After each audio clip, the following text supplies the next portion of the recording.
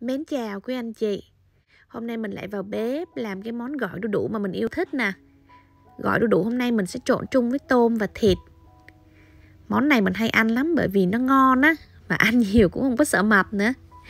Mà hôm nay sẵn mình trộn rồi mình chia sẻ cho mọi người cái bí quyết để mình trộn gỏi làm sao cho nó đậm đà Và để lâu không có bị ra nước ha. Rồi bây giờ các anh chị nào quan tâm thì mình cùng điểm sơ qua cái phần nguyên liệu nè, Rồi mình cùng vào bếp và làm ha. Đầu tiên là mình có ở đây là một trái đu đủ nè. Đu đủ thì à, trái của mình hôm nay hơi lớn á. Cái này tới ký ba cơ. Um, Đu đủ dùng mình để làm gỏi đó. Các bạn nhớ lựa cái trái nó còn tươi ha. Để cái độ giòn nó cao khi mà mình làm à, gỏi đó. Nếu mà các bạn lựa được những cái trái già tới á, mà bên trong lõi nó có cái màu đỏ hường á đẹp lắm. Nhưng mình mình mua bên này đa số mình thấy cái lõi nó màu xanh không à. Nên là mình hay à, trộn chung với lại một ít um, cà rốt hoặc là ớt chuông như ở đây nè để tạo cái màu cho nó đẹp thêm cho cái món gỏi của mình á.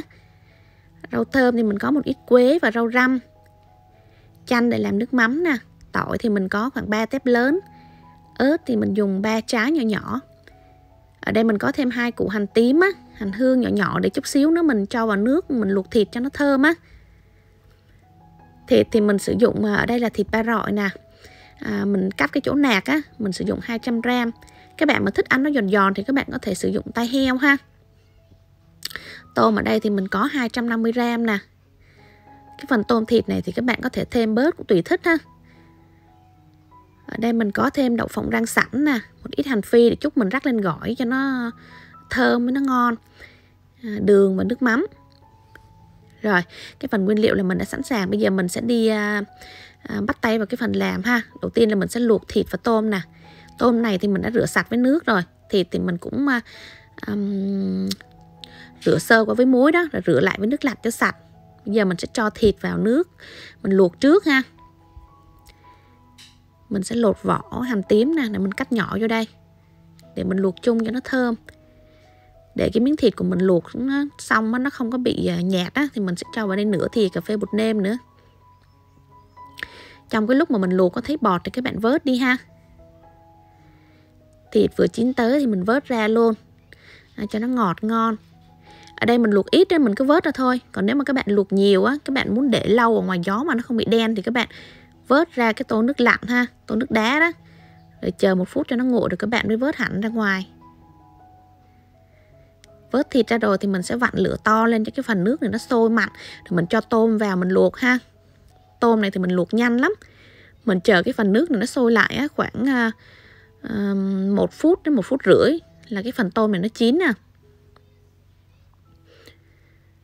Tôm mà nó chín hay không mình nhìn là mình biết đó các bạn. Đó.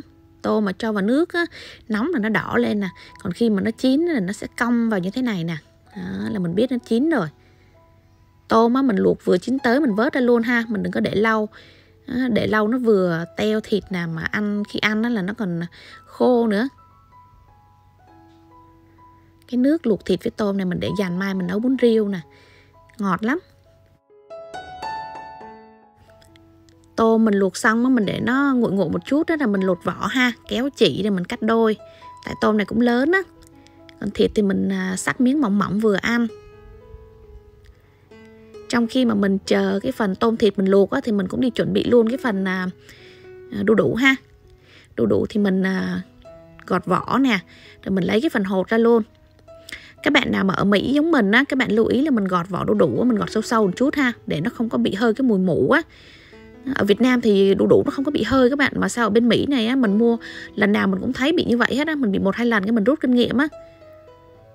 Rồi bây giờ mình đi bào sợi ha. Nhưng mà trước khi bào sợi thì mình sẽ cho vào đây một ít nước lạnh để khi mà mình bào cái sợi đu đủ đó xong á là mình ngâm cái sợi đu đủ nó trong nước lạnh luôn ngâm trong nước lạnh như thế này nó sẽ giúp cho cái sợi đu đủ của mình nó được giòn á. Giòn mà nó còn sạch mũ nữa.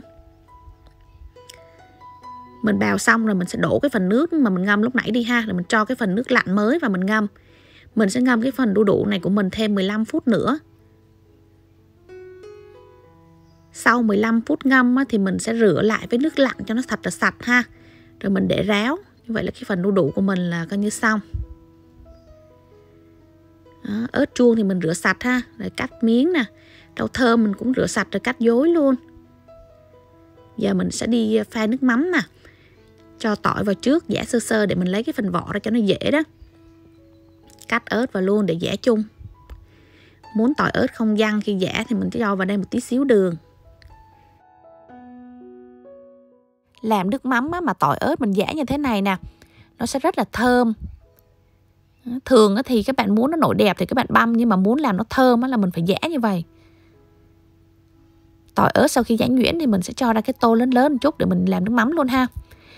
Mình sẽ dùng 200 gram đường cát trắng và 100 ml nước mắm ngon ha.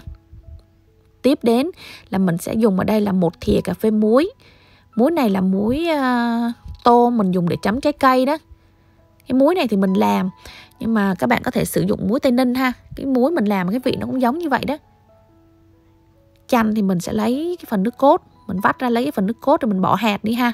Mình sẽ lấy vào đây là 100ml cái phần nước cốt chanh và nước mắm là mình đều dùng 100ml đó. Coi như nó bằng nhau. Rồi bây giờ mình sẽ quấy đều cái phần hỗn hợp này lên là cái nước mắm của mình là đã xong rồi đây cái phần nước mắm này các bạn có thể à, làm nhiều á làm nhiều một chút rồi mình uh, trộn gỏi bao nhiêu mình trộn rồi còn bao nhiêu thì mình sẽ cho vào ngăn mát mình bảo quản ha.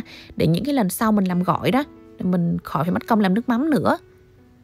Cái phần nước mắm này nó rất là tiện tại vì mình trộn được tất cả các loại gỏi luôn các bạn chứ không riêng gì gỏi đu đủ ha. Gỏi đu đủ này thì khi nào mình ăn thì mình mới trộn nè nó giống như những cái loại gỏi khác á. Mình trộn trước thì nó sẽ dễ bị ra nước trước khi trộn là mình sẽ cho vào đây một ít nước mắm trước. Không cần nhiều đâu một ít thôi để mình trộn đều á cho nó thấm cái phần nước mắm vào trong gỏi đu đủ. Đó, các bạn trộn vài vòng các bạn sẽ thấy nước nó ra rất là nhiều. Đó, như thế này nè các bạn để mà các bạn trộn luôn là cái phần gỏi đu đủ của mình nó sẽ không có đậm đà đâu. Các bạn phải đổ đi. Mình chan nước mắm lần hai mình trộn thì nó mới ngon được. Nhưng mà trước khi mình chan nước mắm thì mình sẽ cho cái phần ớt ha rau thơm và tôm thịt vào luôn tùy vào cái lượng à, của mình nhiều hay ít mà mình chan nước mắm cho nó phù hợp ha các bạn có thể chan từ từ à, mình à, trộn lên rồi mình thấy nó chưa có đậm đà thì mình lại chan tiếp đó. bây giờ cái phần gỏi đủ của mình nó chỉ cần trộn lên là xong rồi nè đó. khi nào ăn thì mình bày ra trưng bày lên cho nó đẹp mắt một chút rồi mình rắc rau thơm ha mình nãy rau thơm mình chừa lại một ít đó giờ mình rắc lên bên trên cho nó đẹp rồi rắc lên một ít uh, hành phi với đậu phộng nữa là cái phần gỏi của mình là xong rồi nè. Món ăn của mình làm rất là nhanh đơn giản mà ăn lại ngon miệng nữa. À, chúc các bạn thành công và yêu thích cái món này ha. Còn bây giờ mình cũng xin được dừng video ở đây và hẹn gặp lại các bạn ở những video sau với những chia sẻ tiếp theo của mình nha.